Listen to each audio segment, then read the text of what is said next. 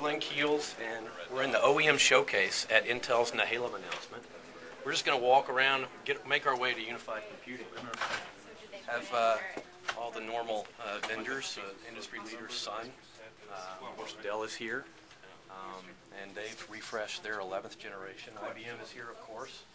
Uh, very similar in types of servers, blade servers, rack servers, tower servers.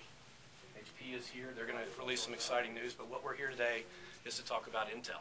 Okay, what Intel's doing today is releasing the Xeon 5500 series, which has breakthrough performance, breakthrough virtualization technologies, and breakthrough power efficiency.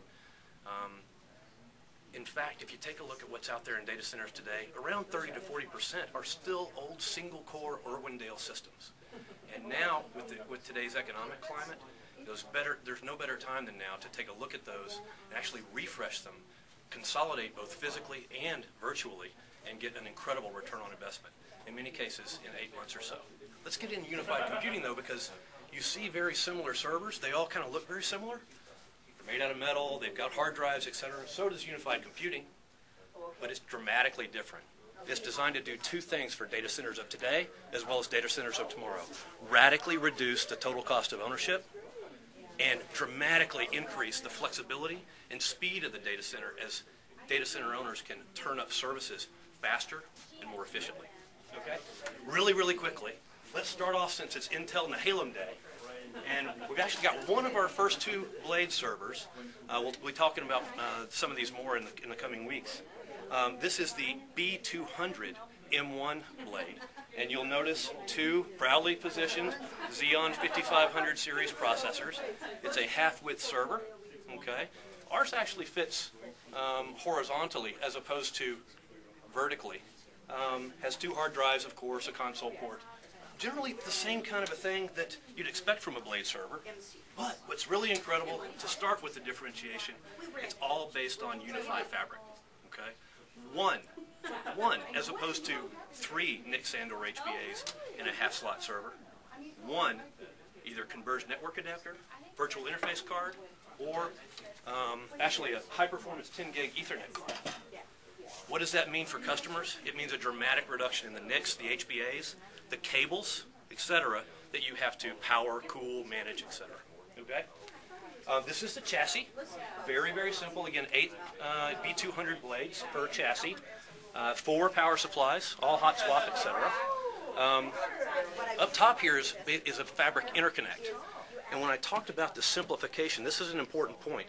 If you take a look at the normal building block of blade data centers, 16 blades per building block, Unified Computing has 320 blades per building block. So you can decouple that complexity and really scale out much more efficiently. What does that mean in real terms, okay? Take a normal, let's say, 16 blade chassis, and you have I.O. bays, okay? Those I.O. bays have interconnects and switches in them, correct? Okay?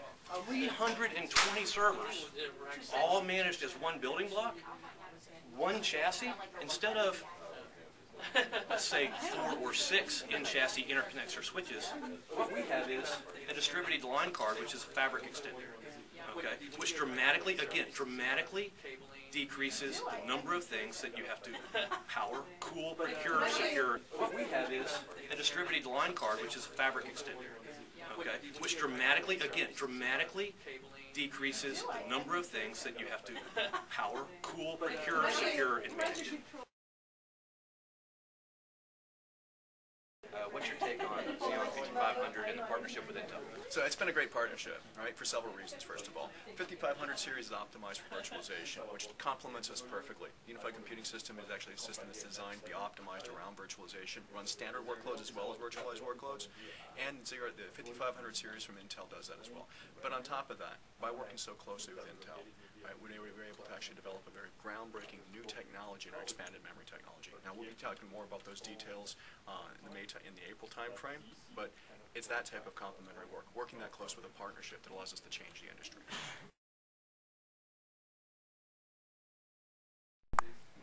Hey, so actually, Cisco's so excited about Intel's announcement today. We even have the whole team here, Harris Sussman and Paul Durzin. Um, again, thank you for the partnership, Intel, and congratulations on the Xeon 5500. Congratulations. Congrats.